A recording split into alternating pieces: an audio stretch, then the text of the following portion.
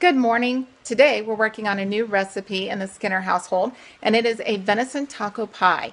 Right now we have two kinds of ground venison cooking. One is a jalapeno and cheese, one is regular, and it is simmering in some water.